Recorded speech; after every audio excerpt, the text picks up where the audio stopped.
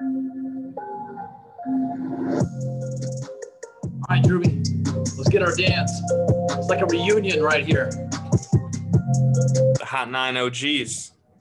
That's right.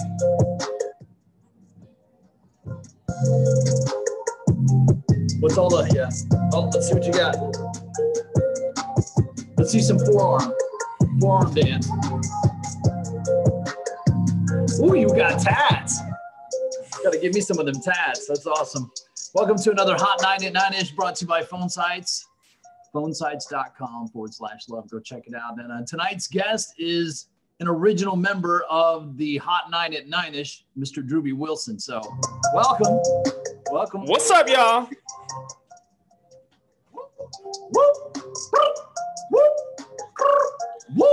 I wish I could start freestyling, but I just don't have it in me.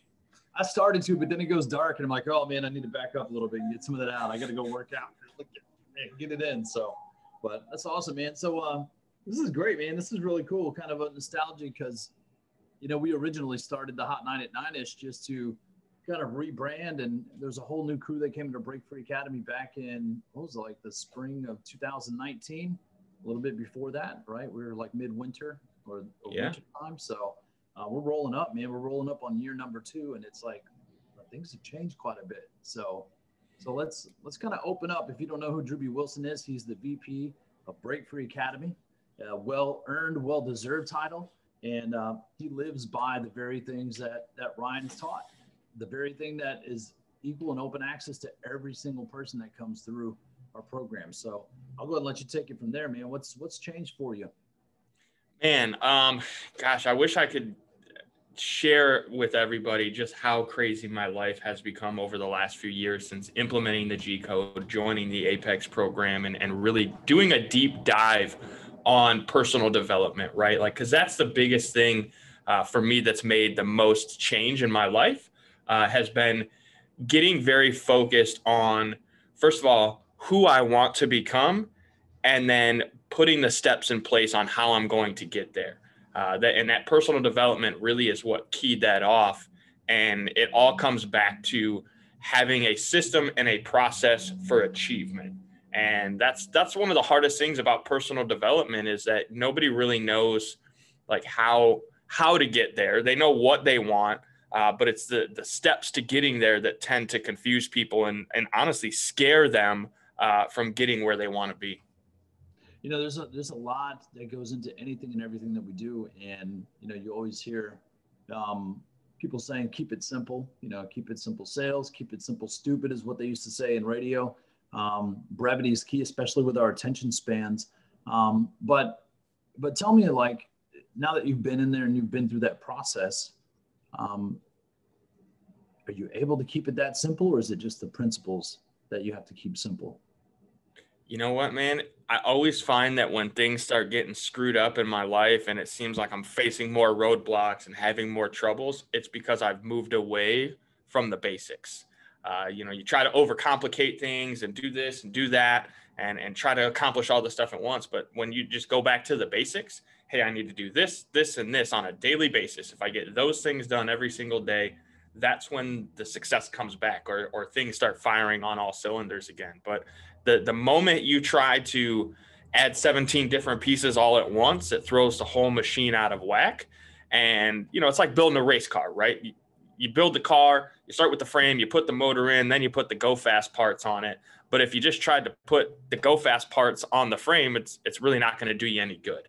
So you have to go through that process and you have to simplify it and make sure you're doing it in the right steps in order to go at the speed that you're able to truly go at uh, at, in any area, whether it's in your fitness or in your family or in your business, right? And, and even in your faith, like all of these things have a process. They all have steps to go through and, and you just have to keep it simple, man. You have to go step one, step two, step three. But so many people come in and say, Hey, I want to go from step one to step two to step six, not understanding that step six requires four and five to make sense. Yeah, that makes sense. That makes a lot of sense. And you know, we we all follow the same same line, right? The same same process in terms of you know, like for example, the G code, you know, we follow the G code. And uh, so I, what I want to do, and I did this with our, our other guests too, is, is basically break down that process because each one, each category has that process. Um, and each one can go levels deep into multiple processes. But let's let's start with a very basic, just a basic overview of, you know, like gratitude. Let's start with gratitude since that's G1. What do you do? Um, what is your process for gratitude? So gratitude, obviously, you know, the, the first thing we say in the G code is when you wake up, you have to to think about the things that you're grateful for. Like that first thought that pops into your head. And funny enough, I've actually noticed myself doing this in my dreams. I don't know if it's like that that few minutes of REM sleep right before you wake up, you know, like when the alarm kicks in. Um, but I find myself like asking, what am I grateful for?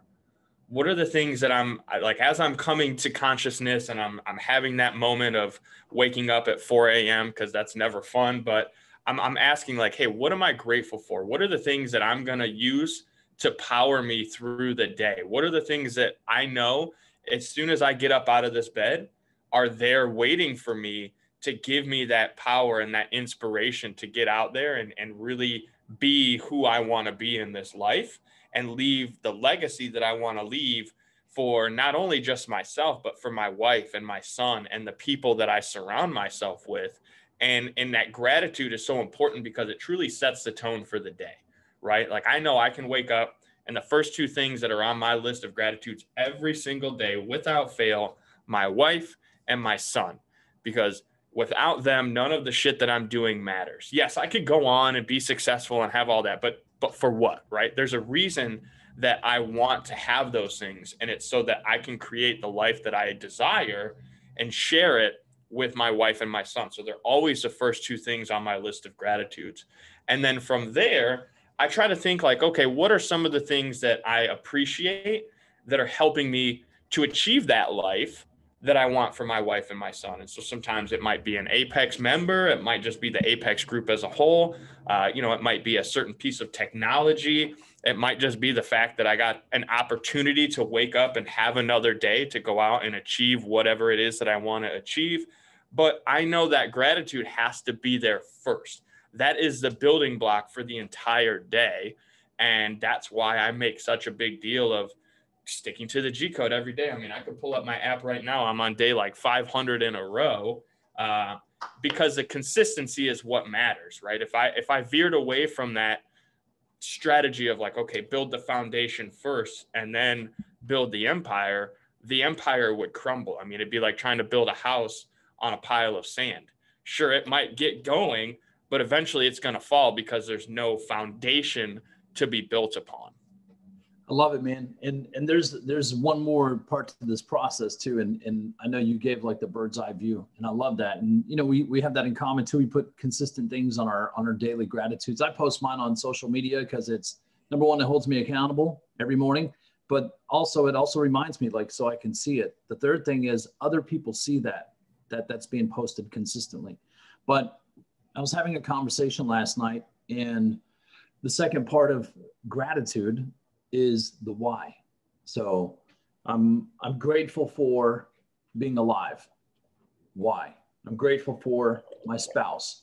Why? I'm grateful for Break Free Academy. Why? I'm grateful for sunshine, et cetera, et cetera. So let's let's talk a little bit, a little bit deeper. Let's go one more level deep in that process.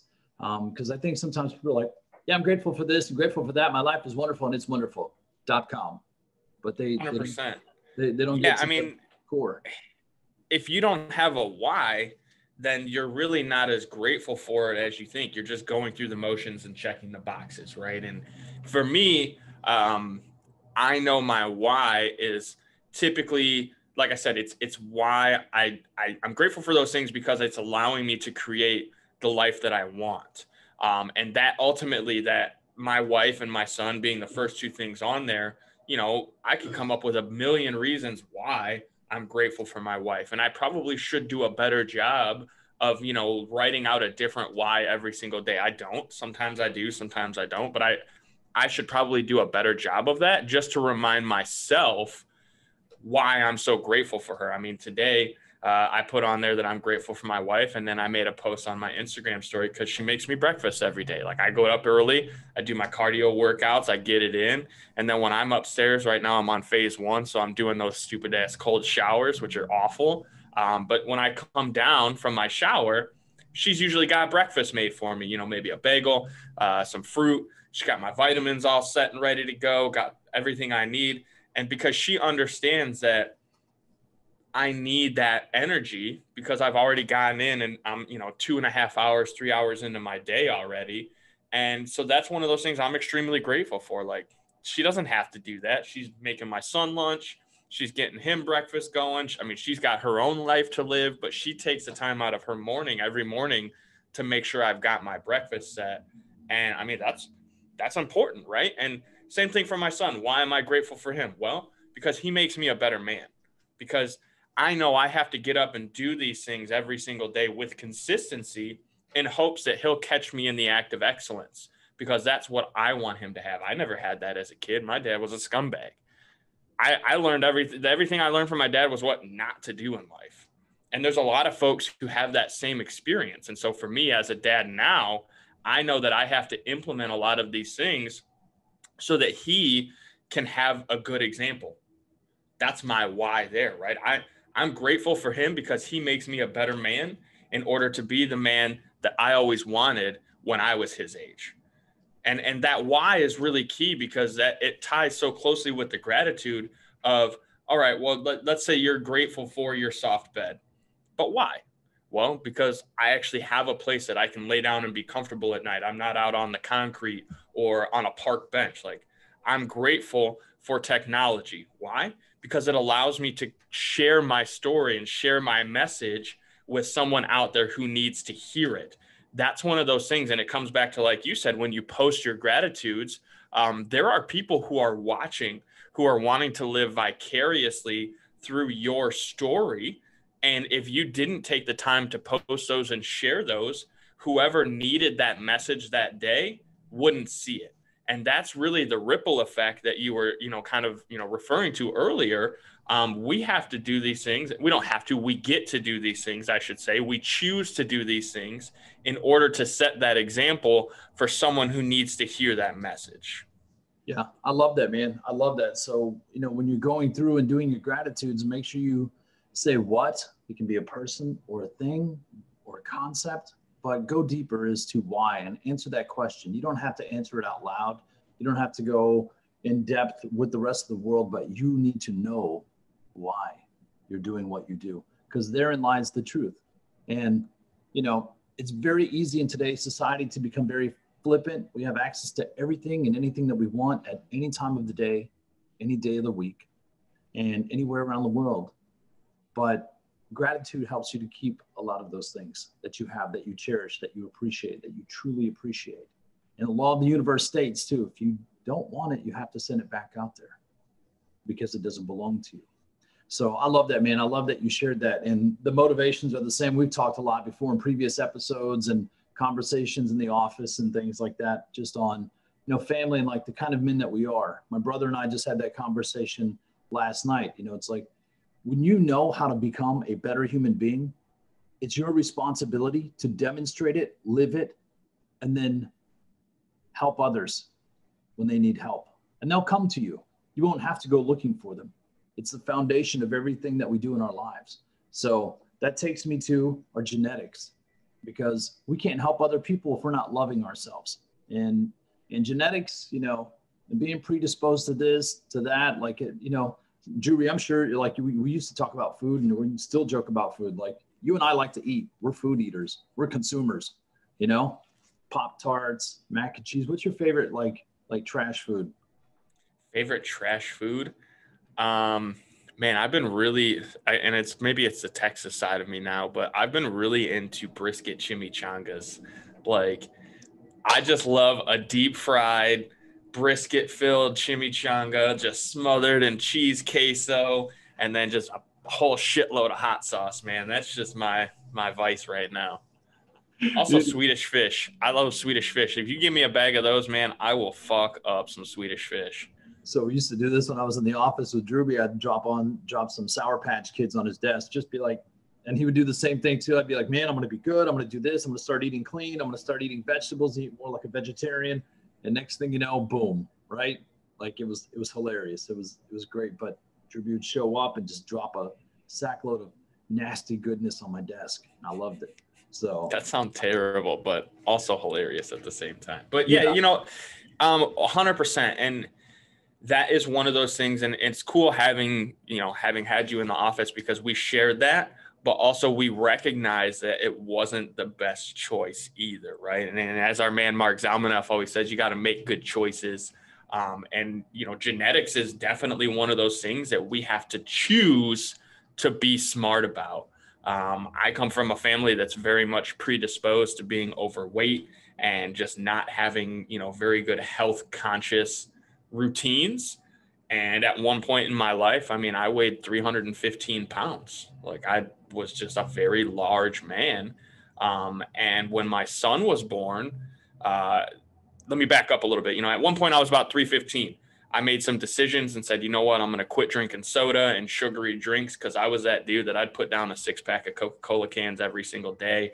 Uh, I'd always kept a thing of juice in the fridge so that I could wake up in the middle of the night, go in, take a big swig of the juice from the jug and put it back. And you don't realize like how much sugar and how much unnecessary garbage is in those things, especially when it comes to like beverages, right? Because you just pound them down, they taste good, just cool, move on throughout the day. Um, but just unneeded calories and stuff that just really wasn't good. So I'd made some decisions. You know, I got down to like 210, 215 pounds, but I wasn't eating right. I was just not eating. I was just keeping myself super busy and making, you know, just, just not eating correctly. And I got down to about 215 pounds. Then I met my wife. Uh, we started dating. And you know what happens when you get into a relationship? You, you start going out, right? You go and you eat at different restaurants and you have a bunch of cocktails and you make not so great choices.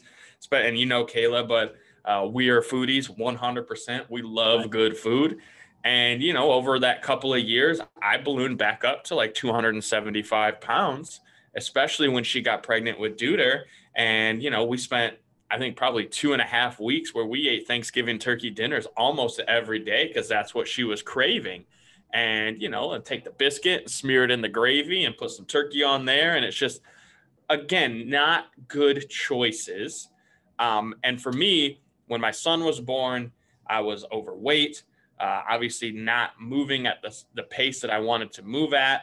I had some things going on, you know, with my business life at the time that I wasn't totally satisfied. So I would turn to food as my crutch, as my like escape from the stresses of what was going on.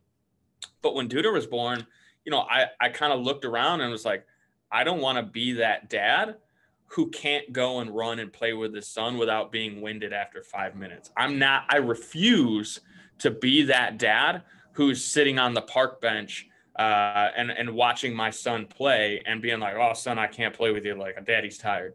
I, I won't be that person. I absolutely refuse to be that person. And so, you know, I started back on this journey of, okay, what am I going to do to set the example for excellence? Uh, I started waking up initially and just going for walks, right? I was not totally happy in my life. So I said, all right, well, let me get up early, go for some walks in the morning, listening to some positive messages, a lot of YouTube videos and podcasts and things like that. You know, that's one of the first places I found Ryan was his podcast. And then, you know, listening to books on tape for personal development. Hey, how do I become a better human? How do I become the man that I'm destined to be, that I was put on this planet to become? And from there, I got back into cycling. Uh, I've been riding BMX since I was a little shithead kid at 12 or 13, riding all over town, you know. So I was like, all right, well, let me pick up a road bike and get out and put some miles in because that's a great way for me to escape, right? That's kind of my meditation time, my me time in the morning. And man, I just went balls to the wall with it. I started saying, all right, well, I love cycling. Let me try some of these endurance rides. Let me see how far I can push myself. And, you know, I started with 10 miles, 15 miles, 25 50. Uh, I was like, oh shit, if I can do 50, I can definitely do 75. Well, I did 75. How about I do 100, right? I had a buddy of mine who was doing some cycling with me. And he's like, man, I know these idiots. They talk about these century rides. They go and ride their bike 100 miles in a day. I'm like, that's fucking crazy. There's no way. Uh, turns out it's really not as difficult as you think. Um, and and actually, I've gotten to a point now where the, the longest ride I've done was about 217 miles. Took me 17 hours. Actually, what was cool about that is I did it as a birthday gift to myself. And to go with doing that long ride and, and having that achievement, I did it as a charity ride and raised like $2,200 for a charity. But it all comes back to making that choice, right? Hey, I am choosing to be smarter about the things that I put into my body. I'm choosing to go out and put in the work that 98% of the rest of the world doesn't want to put in because I want my son to see what it takes, first of all, right? Because nothing in this world comes easy. But I also want him to understand that he can have and become anyone that he wants to be on this planet if he's willing to put in the work. And a lot of that comes back to making that choice and that's, you know, for me, the genetic side of it at this point, now that I've become an entrepreneur, right? I work for a company, I'm an employee, but I'm also a, an entrepreneur at the same time. So I'm kind of that entrepreneur. I have an opportunity to build an empire and create the legacy that I want. Um, and in order to do that, I have to operate at peak performance. I mean, you don't put sugar in the gas tank of your Ferrari. So why would I keep filling myself with garbage and then expecting to have the energy to wake up at 4 a.m. every day and then work until you know six o'clock and go home and still have the energy to be there for my son and my wife um, you can't you have to make the right choices and do the right things so that you have that energy to be as successful and productive as it takes to reach the level that i know i'm destined to be on yeah, I love that, man. And I love the fact that number one, you post yours up every day. Like always see in your stories, you're, you know, out for a bike ride or walking or running. It doesn't matter. Even when you did first iteration of 75 hard and it was raining and stuff like that, and you'd be outside in the cold, you know, because that's how it is. Like one week it's hot in Texas, next week it's like cold. But, um, you know, I and I want to touch do- on that for a second because this is one of those things like for me at first, when I started posting those pictures of myself, it felt like a really douchey thing to do, right? Like, oh, it doesn't count if you don't post your gym selfie. But what I came to realize with that is, and it, it kind of goes with, you know, the social media thing in general, people were watching that. And now I've done it so long and been so consistent with it that, first of all, it's an accountability thing for me, right? It's kind of like you talked about with your gratitude posts every day, uh, but it's an accountability for me. But I get messages from people all the time that are like, hey, man, I love your consistency. I love that you post your rides every morning or your walks because that inspired me to go out and start walking. And this is messages from people that have never once liked, commented, said anything on any of my content. But the point is, they're watching. And so that's the example, right? This, it all comes back to setting that example for the people in your circle. And while it felt like a real weird douchey thing to do, now I'm I'm excited to get up and post that because I know there's one person out there who's going to see that and it's going to change their day. It's going to motivate, it's going to inspire them to change their life and become who they want to become and who they're destined to be.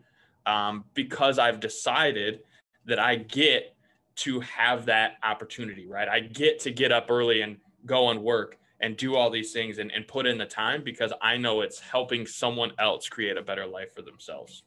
And I love that, man. And here's the thing like, again, I was having a conversation, and you and I have talked about that too. I bet you're in better shape now than you were when you were 30 years old. 150% like a, a, way way better shape and even like when i started with BRIA back in you know late 2018 early 19 i mean back then i wasn't really out of shape but I mean, I probably lost 25, 30 pounds. I put on a significant amount of muscle. My cardio is way better than it's ever been. My strength is better than it's ever been. And that all gives me a better mindset and clarity with how I approach things because now I, again, it all comes back to the process, the systems, and the routine. You know, but by getting my my mind in line with my body, I can run at a much faster pace and for much much longer. Yeah, how you do anything is how you do everything. So bingo. And that all ties into work too. Like everything that we do, like in the gym, the time we put in, like starting with our gratitude, what we're grateful for, you know, keeping those things in our lives and those people in our lives, and then putting in the work to stay healthy and functional and productive. It bleeds into the work that we do. So let's talk about our grind. Let's talk about how, I think this is probably a mystery for a lot of people. And you and I are always looking at weekly wins, forms, and things like that that come in from our clients in Apex. Um, we got some that are on self accountability, and we have some that are you know, working with coaches. But the common theme that I see is based around time management. So let's like, why don't you kind of kind of explain like what your day looks like on an average day? Because I think people romanticize and think, man, it must be so easy to be Drewbie. Man, he's just up there in the kingdom at Break Free Academy. It's got to be totally just piece of cake for him, man. He's winning. I want to win like that, but they don't know what it looks like. So what does that look like? Give people a little insight into what that looks like. Yeah. So, and this was something that I had to learn the hard way, right? It, it, we all as entrepreneurs think, I'm going to grind, I'm going to grind, I'm going to grind, I'm going to just put in 19, 20 hours a day and I'm going to crush it. Well, there's a lot of other keys to success, and grinding and making money is not the end all be all. So, I had to learn this lesson the hard way. Um, but I had to get very clear about, again, what do I want? Why do I want it? And how am I going to achieve it? And part of the the what and the why for me is I want my family. I want to have time with them. Um, and I want to have the systems and the processes in place so that when I'm spending time with them, I don't feel guilty about not being at work. And when I'm at work, I don't want to feel guilty about not being with my family. So I had to make sure that I every single day have time in my calendar for my family where I'm focused on them specifically. And sometimes it's not just my wife and my son. You know, I have a family of choice. So I need to take time to be around the people that I appreciate and that I'm grateful for. And how do I do that? Well, I live and die by the calendar. So my alarm goes off at four o'clock every single morning. That includes Saturdays and Sundays. Why? Because consistency matters. And, you know, if I got up at 4 a.m. Monday through Friday, but then slept in until nine on Saturday and Sunday, it would be that much harder to get up at 4 a.m. Monday through Friday. You know, Monday would come around and I'm like, ah, oh, shit, I got to get up at four o'clock tomorrow. So I just said, you know what? Let me just run it on a daily basis. So I get up at four o'clock every day. I go downstairs, take a big old piss because, you know, 75 hard, drinking all that water, like it's just inevitable. Um, I try to make sure I do drink a lot of water. Like I always keep a big jug right next to me. So I, I hydrate first thing in the morning, go downstairs. I do my gratitude exercises. I post up my inspirational content for crushing the day, right? Because I've created that crushing the day brand as part of my entrepreneurial journey. And I give a little bit of motivation, inspiration. I throw my headphones on, get some, you know, powerful YouTube videos fired up. Les Brown, ET, Ed Mylett, Ryan, you know, these guys that inspire me to become a better person. And then I do an hour of cardio first thing every single day. Now, again, because I've added in strength training, sometimes I get up at 4 a.m. and I go get Kayla and Duder up and we all pile in the truck and we go to see Mark Z over at the gym and we do some strength training. But it's always an hour workout every single morning is the first thing that we do. Once I'm done with that, I come home, I get myself cleaned up, and then I spend an hour having breakfast with the family and getting Duder ready because he's in school now. So that that hour with my wife and my son is is important to me because that's part of the day uh, you know, if I sleep for six hours a night, I only got 18 hours. So I've got to be very specific with each of those hours, you know, and what I'm going to do with them. So from 6:30 to 7:30, we're having breakfast. We're talking about what we want to do for the day. We're having those personal moments. 7:30, we get in the truck, take Duder over to school. I've made the commitment to taking him to school every single day because that's one of those things that I think he'll remember, right? Hey, my dad was really, really busy and he worked a lot, but you know what? He still made time to drop me off at school every day. That's a memory I want him to have. And again, there's so many folks out there that are on this entrepreneurial journey that are just like, well, I can't do that. I got to work. I got things to do. Well, you know what? Taking care of your family is a thing that needs to be done. Providing for them and creating those memories is important because if you don't, I mean, you don't know how long you're going to be on this earth. So they, you, it, nothing could be worse to me than Duder being like, man, my dad was never around. I, you know, I wish he would have been around more. That breaks my heart even thinking that that could be a possibility. So I got to make sure that I put that time on my calendar, right? So I drop him off at school. I'm at the office by 8:15, 8:30 every day, uh, Monday through Friday. And then from 8:30 to 4 o'clock almost every single day, Monday through Friday, I'm I'm working, right? I'm here. I'm doing the grind. I'm taking care of clients. I'm helping people. I'm doing interviews like this to share that message and show people, hey, uh, it's not always cupcakes and rainbows. Sometimes you got to put in the work to get where you want to be. And ultimately, the goal is to do enough of this work while I'm young and have the energy so that I can buy back more of my time to spend it with my family, right? I want to create passive income streams and opportunity that pays me way, way in the future for all the work that I'm doing right now. But again, at four o'clock in the truck, go home. And then from 4:30 to 6:30 or 7:30, that's family time. That's important. Do I have to get on the occasional sales call? Sure. Do I have to respond to some messages? Sure. But you know what? That is family focused time. That is time where we have dinner every night, we spend time together, and we create that opportunity to be together. Because again, we only have so many hours in the day. And if I didn't take the time to put it on my calendar, I would forget about it. I'd make excuses as, oh, I got to be here at the office late. I got to do this. I got to do that. And I can tell you from experience, having been that person, it's a quick way to destroy a relationship. You know, my wife and I went through some very difficult times because I chose to work more than I chose to work on our relationship. Yeah.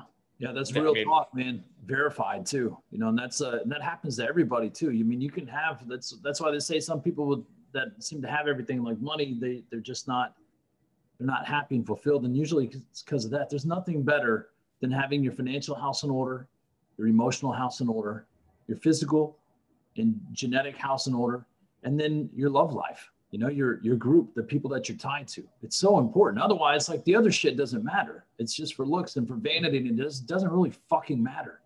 Because what people fail to realize is that when you get those things in order, the business side gets way, way better instead of being at work and being like, fuck, my wife's pissed at me. Oh, my kids hate me. Uh, you, you know, you're distracted by these different things. When you got your shit in order, man, you can be far more productive. You can get way, way more done throughout the day. But again, you have to be prioritized. You have to know your what, your why, and your how. And so that's, you know, until 7:30 at night, eight o'clock, we're, we're having family time. And then I always, I've made the commitment to reading a, a, book to my son every night before bed, again, because these are the memories, right? These are the things that I think are important. Uh, I put my son down for bed, uh, send my last little couple messages for the evening, kind of lining up for the next day, looking at my calendar, going, okay, what do I got to accomplish tomorrow? What are the things that I know need to get done tomorrow? Because I need to be prepared for what's ahead. I need to know what's coming my way. Otherwise, I'm going to end up like the Titanic and I'm going to hit an iceberg that I wasn't, you know, looking for that was right in front of me the whole time. And it's going to sink the whole ship. So, you know, eight o'clock, nine o'clock, that's settling in, putting Duder to bed, getting my things in order. And then I try to spend a little time with my wife right there in the evening where we talk about our day. we kind of talk about what we've got going on and what we want to do. Uh, usually we'll sit in bed and read together instead of watching some idiot television show, uh, you know, some shitty Netflix series that, yes, that's a fun thing on occasion, but we're both on that personal development journey together. And that's a key part of our relationship was getting in line and alignment with what we wanted out of life. And that really, like I said, man, it, having gone through that, looking back and for everybody who's watching or listening to this, get very clear about your relationship and where you're wanting to take it. Because if it's one sided, it's going to be one sided forever. Like you have to sometimes, I don't want to say make sacrifices because that sounds bad, but you have to make a decision to say, hey, these are the things that I want. These are the things that you want. This one probably isn't going to work out. This one over on your side isn't going to work out. But if we have, you know, three out of five, we're going to have a pretty solid life together. And in bed, I'm I'm in bed by 10 o'clock, man. That's one of those things like you guys can tell you if you're you're messaging after 10 o'clock, you ain't gonna get to Drewbie because that boy sleep because that yeah. alarm goes off at four o'clock every single day. That's you right. Know, and on the on the weekends, I I spend a little more time with the family, but I'm still putting in three four hours of work on the the weekend days too, Saturday and Sundays. I mean, I'm I'm working seven days a week, but I can do that because of the way I've created my time and I've prioritized what's important. So that's, I mean, that's my days in a nutshell. It, it never ends. It's just on a constant loop because consistency is what really matters. Yeah, I love it, man. I love it. And I know you kind of started talking about group a little bit too, but there are a couple of elements too that you missed out, like not, not missed out, but just things that you didn't incorporate. But the question is this, because after all of the work that you've put in, all of the commitment, the dedication, you know, you've made that rise to, you know, VP of Break Free Academy. You've, you know, developed your own software, right? You've got your program, you've got your branding and everything. Crush the day before it crushes you, which is doing phenomenal. Um, make sure you connect with Drewbie on that too. But you know, what's happened in terms of your group? Like, are you just hanging out with regular people? Are you hanging out with uh, like who are the people that you have to hang out with now at this point in your life? After going from being a kid, you know, weighing 315 and just eating whatever the hell you want, and then going through this transformation, this metamorphosis.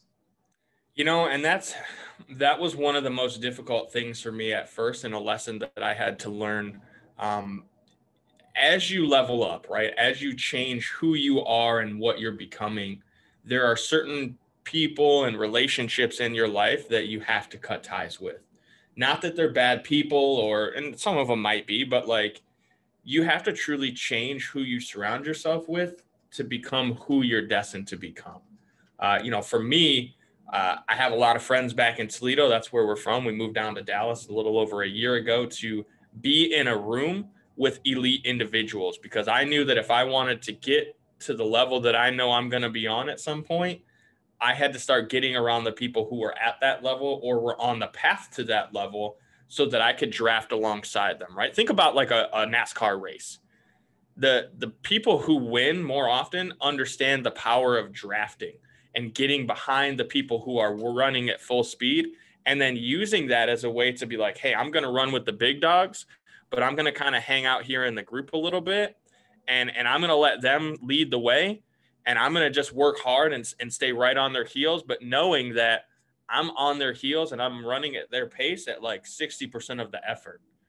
And then when they, you know, start peeling off, I've still got 40% in the tank to skyrocket and roll through. And and that's what happens in your relationships and the people you surround yourself with. When you're trying to get to that next level, you got to get around the kind of people who are at that level so that first of all they can show you how to get there, right? Cuz everybody wants to think, "Oh, I'm a self-made man." Well, there's no such thing as a self-made man anybody who's ever reached any level of success had someone along the way who showed them the ropes or taught them a thing or two about how to get there. I hate to tell you guys, you're never going to be self made. That's just the way it is. That's a fact of life. There are people who you need in your life that will help you get to where you want to go. So you got to think about that. And that's that's one of the things I've done is I've leveled up my circle, right? Instead of just running around with drug dealers and gangbangers like I did as a kid, now I'm running around with business owners and CEOs and investors, folks who are creating opportunity for thousands of people. That's what I want. I want to be an opportunity creator. And in order to do that, I have to surround myself with opportunity creators. I have to surround myself with the kind of people who have built businesses and created brands and built a message that people buy into so that I can learn from them. Sometimes you got to surround yourself with people that you don't even realize are a key to your success. You know, getting around guys like Pastor Keith and, and folks who are on a different level spiritually or in their relationship so that you can understand what it really takes to have that. That's right. I love it, Drewbie. I love it. And listen, you can be just like Drewbie too. And and I mean that in a very good way because he's already done it. He's done the work. He's shown you what's possible. Before that, like Stewman was doing that. There is a roadmap to anything and everything you want in this life. You just have to pay attention and look for the acres of diamonds that are sitting right around you. It's right, right below your feet. So make sure you connect. How can people connect with you, Drewbie? Um, you know, one of the best places to find me is on Facebook. That's where I spend a lot of my time. You know, facebook.com slash Drewbie Rides. Um, also, if you go to connectwithdrewby.com, uh, I've got, you know, all my different platforms, Facebook, Instagram. I've actually got links to, you know, crushing the day. So crushingtheday.com is my, my lifestyle brand. That's really what I truly live every single day is crush the day before it crushes you. I think that's a key component to creating the life that you want because life is heavy, man. It can be hard. There's a lot of roadblocks and obstacles that are going to land at your feet. But if you choose to crush them instead of letting them crush you, uh, that's that's really what's going to help you get where you want to be. That's it, man. I love it. Drew, I'm, I'm glad. We could probably talk for days, man, but I know you're busy. You got to get back to it. And uh, make sure you crush the day before it crushes you. It's another Hot 99 is brought to you by Phone Sites. You can build a website in five minutes. That's right. A lead generating, data producing website in five minutes once you get really proficient, but it's very simple to use. So make sure you get it at phonesites.com forward slash love And uh, oh, listen, if somebody wants to jump into Apex, how do they need to get hold of you? Best thing to do there is go to jointheapex.com. You get to read a little bit about how we can help folks in their life and uh, determine that if it's something for you, you fill out an application. Myself or someone from the team will have a conversation with you because ultimately we want you to be successful. We want you to have the opportunity to create the life that you want and learn from the people who are doing that. So join the apex.com, man. It's real simple. Awesome. All right. Thanks, Drewbie. Let's do this real quick. Let's take it out. Hold on. Hold on. I'm trying to find a good one for us. We're gonna have dancing on the Hot 99 ish. Otherwise, it wouldn't be the Hot 99 ish. I mean, it's got to be a party. That's why we got the rave going on, right? You know, just all right. Here we go. Oh, this is slow. This is like low energy Robert stuff. What's going on, Danny? We need the hype. Yeah, we need. Hold on. Here we go. I think it's about to get hype. Is the, is the bass drop coming? 99 ish with Ruby too. My name is Danny G. You can do what you do. You gotta hit the G code from left to right and do it every day and do it all night. Hey, there we go. That's it, man. That's all I got for my skills. Love it. Thank you, Danny. I appreciate you, brother. Super grateful for you, it. man. And uh, I'll be seeing you soon when we uh, meet up for the Apex. Yes, sir.